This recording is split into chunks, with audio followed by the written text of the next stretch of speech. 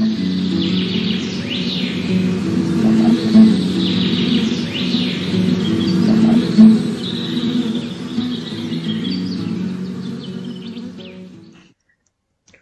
friends, welcome to ixamBee's Law Channel LegalBee. IBPS SO's Law Officer notification is out and now the question arises how to prepare for prelims, how to prepare for mains, what is the syllabus for prelims and mains. In this video we are going to talk about prelim syllabus, the previous year questions that came in prelims and the cutoff of prelims. So first of all, let's look at the important dates. The online registration has started from 1st of November and will last up to 21st of November. Prelim exam is either on 24th of December or 31st of December. Mains exam is on 29th of January. In the eligibility criteria, the age lies between 20 to 30 years. A bachelor degree in law is required, that is LLB, and the candidate should be enrolled as an advocate with the Bar Council this can be All India Bar Council or State Bar Council. There is no experience required in this job. Now coming to the prelims exam. There are three subjects, English language, reasoning, general awareness with special reference to banking industry.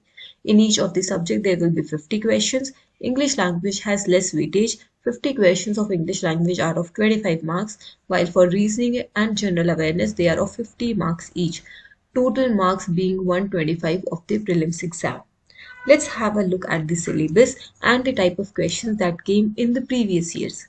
In general awareness, in 2020 there were 17 questions from economic, finance and banking affairs and in 2021 there were 14 questions. From national affairs there were 7 and in 2021 there were 15. From international affairs 4 in 2020 and 5 in 2021. From defense there were 3 questions in 2021 in rankings, there were three and four questions respectively. Awards, four questions from awards in 2020 and one in 2021. Sports, two and four respectively. Committees, one each respectively. Obituaries, three and two. Authors, one and one. In 2020, there were questions from appointments, static GA and important days as well. Let me tell you, apart from static GA, everything that is being discussed in this slide that is present in our free current affair PDF in our BeePedia. You can find that on our website. If you go on our website under general awareness section, a drop down will come. In that drop down, you can find the BeePedia. You will find BeePedia as monthly BeePedia, weekly BeePedia and daily BeePedia and you can use this to prepare your general awareness. Now moving to the second subject that is English. In 2020, there were 20 questions from comprehension, in 2021, there were 18 questions. There were two comprehensions in each. Then there were five questions both in 2020 and 2021 from rearranging the words. 9 from incorrect sentences or finding the errors in 2020, 5 in 2021. Fillers questions were also there, 6 in 2020 and 5 in 2021. Then correct use of word in sentences, this was present only in 2021. Match the column in 2021, 2 questions. Idiom and phrases, there were five questions in 2020 and three in 2021. Conjunctions or join the sentences. There were three in 2021. Rearrange the sentences in a paragraph. Five questions in both the years. Now moving to the reasoning part. There were questions from analytical reasoning both in 2020 and 2021. Puzzles is a very important topic. You will see around two puzzles in every exam. Then coding decoding is another important aspect. Direction and distance Another area from which you can expect questions.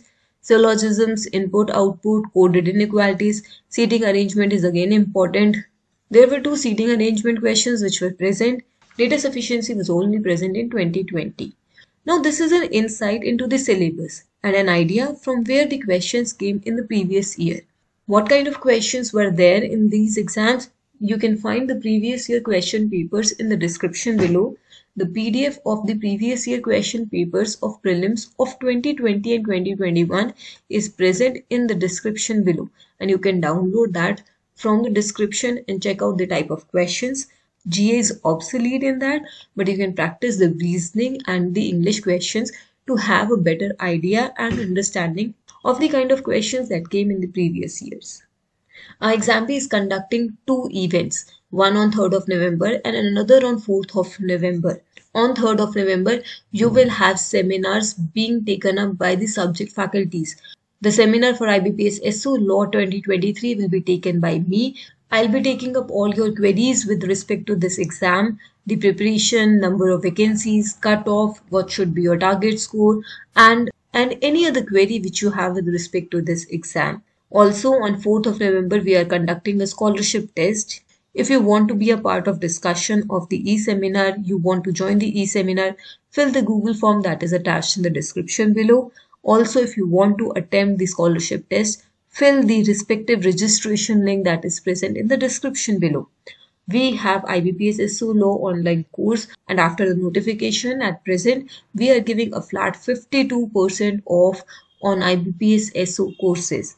In the course, you will find relevant content, study notes, course videos, mock tests, practice questions, and many other things which can help you prepare for this exam. Now let's move to the cutoffs of the prelims exam. There is sectional cutoff and overall cutoff present in prelims exam. The prelim exam is only qualifying in nature. Out of 25 in English, the respective cutoffs over the years has been 6, 4, 7.5 and 10.25 in 2021. English cutoff was a little bit higher in 2021 out of 25.